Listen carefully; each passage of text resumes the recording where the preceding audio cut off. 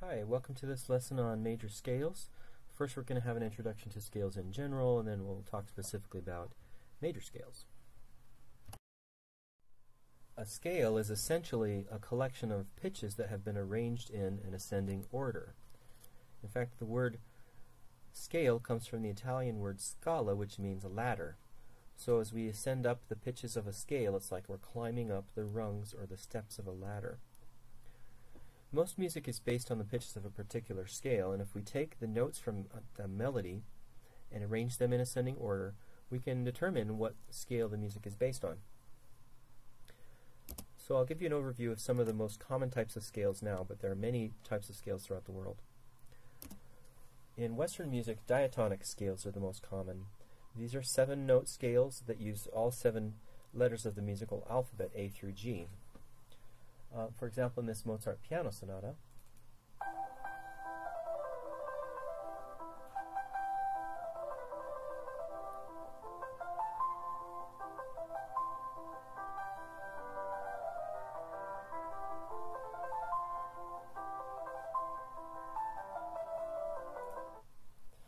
If I were to take the pitches from that melody and arrange them in ascending order, I would come up with something like this.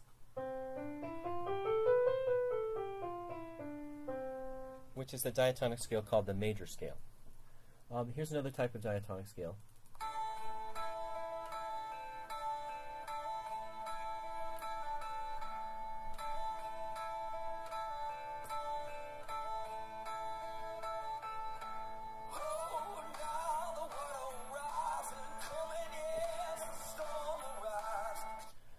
And the pitches from this melody can be arranged like this.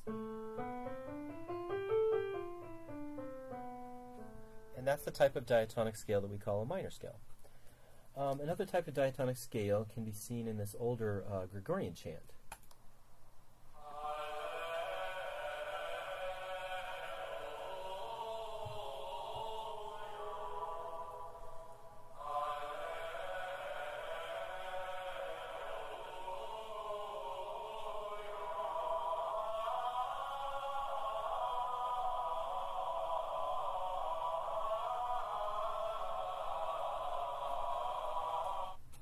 And so on.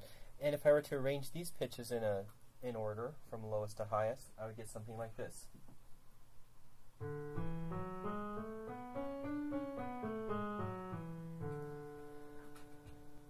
This particular one is this particular mode is called the Lydian mode, but there are various church modes that are sometimes used also in modern music. So those are some of the types of diatonic scales. Um, Scales that use different number of pitches uh, are, for example, the pentatonic scale, which is a five-note scale. This is common in uh, music throughout the world, particularly folk tunes. For example, in this recording,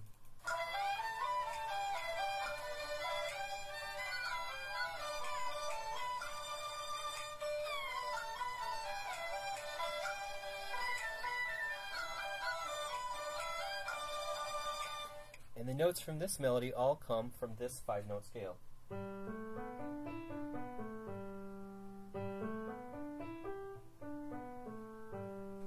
G pentatonic scale.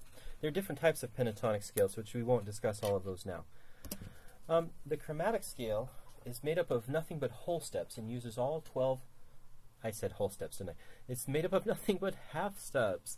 It uses all 12 half steps in the octave. Um, so here's a piece by Arnold Schoenberg that uses all 12 of the half steps in the octave equally.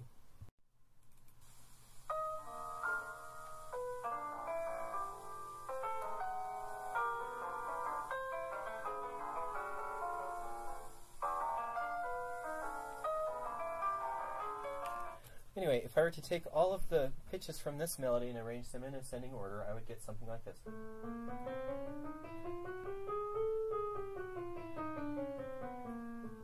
Right, so the collection of pitches this piece is based on is the chromatic scale.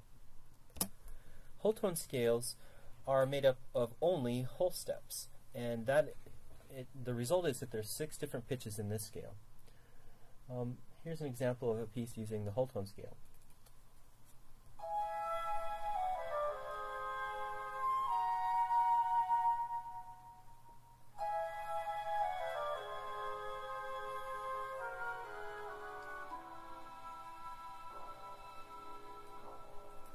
And if I send the pitches, or if I arrange, that is, the pitches of this melody, I would get something like this.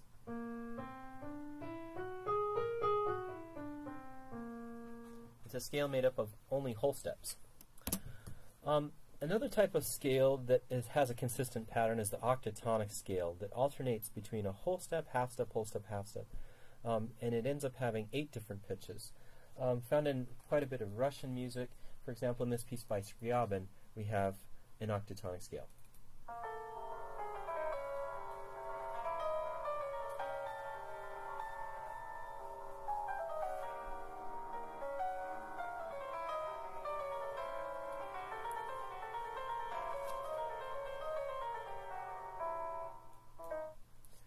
Okay, so the pitches, uh, when put in ascending order here, would sound something like this.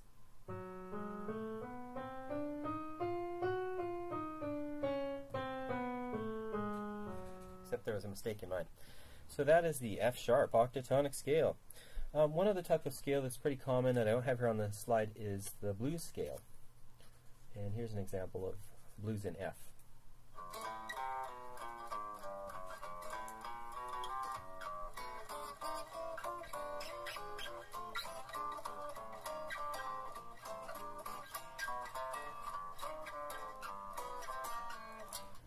Okay, so this um, piece is based on the F blues scale as follows.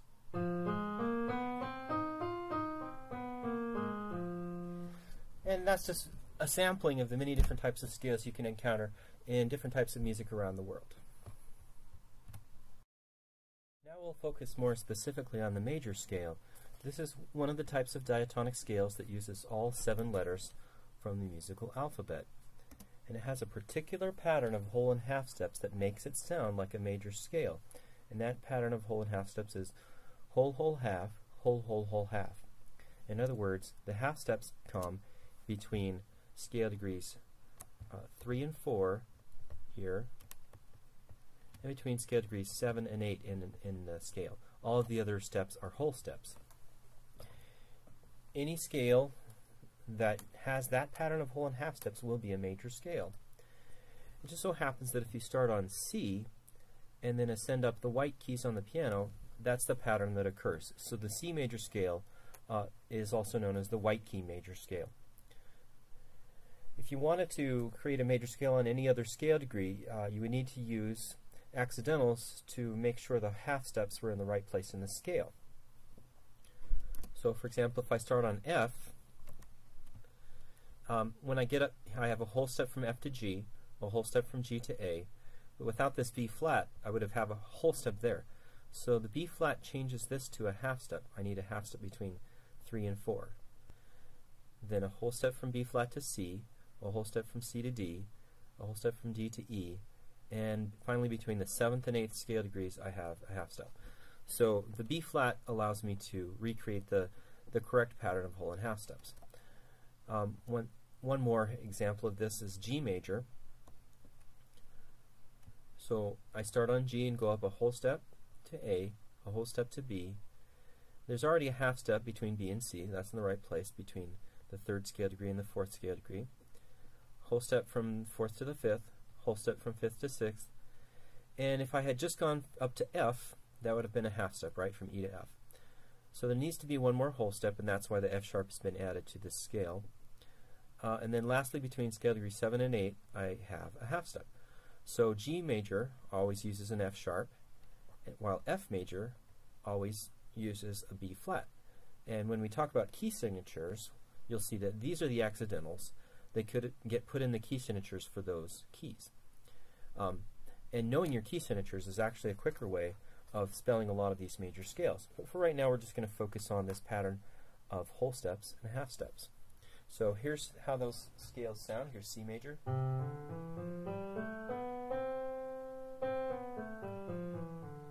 If I start on F, I need to add a B flat.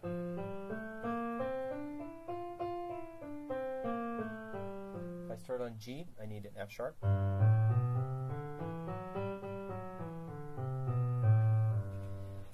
And the assortment of accidentals that you need to make major scales is different for every pitch, um, and that's why every key has its own unique key signature.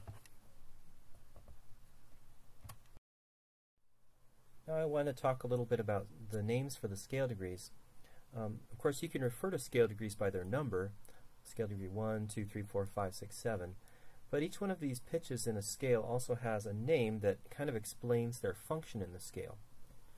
All right, so the first pitch in the scale, and also the most important pitch, is the tonic. This is scale degree 1. All the pitches sort of gravitate towards this tonic pitch. If we have that be our tonic, the next most important pitch in the scale is called the dominant scale degree, scale degree 5. Um, and it moves towards the tonic right? So we have sol do, 5 1. Right underneath the dominant is scale degree four, the subdominant. 4 5 1 or subdominant, dominant, tonic, fa sol do. So subdominant is the name for scale degree 4. Another important uh, scale degree is the leading tone. It's called the leading tone because it leads right into the tonic. It, wants to resolve up into the tonic. Right? 7 1 ti do 5 1 7 1. So leading tone describes its function. Now, some of the other ones, halfway between the um, dominant and the tonic is the mediant. So here's the tonic, the dominant, the mediant is in the middle. Tonic, mediant, dominant, do, mi, sol, mi, do. Scale degree 3 is the mediant. Scale degree 2 is right above the tonic, so we call it the supertonic, super meaning above. Right? Do, re, supertonic, tonic. The supertonic can often resolve down to the tonic as well. And then the probably the strangest name, halfway between the uh, tonic and the subdominant is the submediant. Scale degree 6, the name is the submediant. so here's the names of all of the scale degrees again. Tonic, supertonic, mediant, subdominant, dominant, submediant, leading tone, tonic,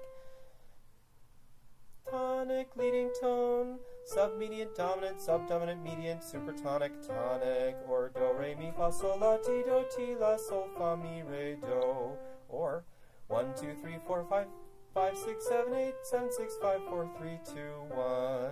Those are different ways of referring to scale degrees. I, the other I was using, of course, is solfege. The do, re, mi, fa, sol goes back to the medieval period. All right, so there's some basic information about major scales and scale degree names and scales in general. Uh, go ahead now and take the quiz that um, follows.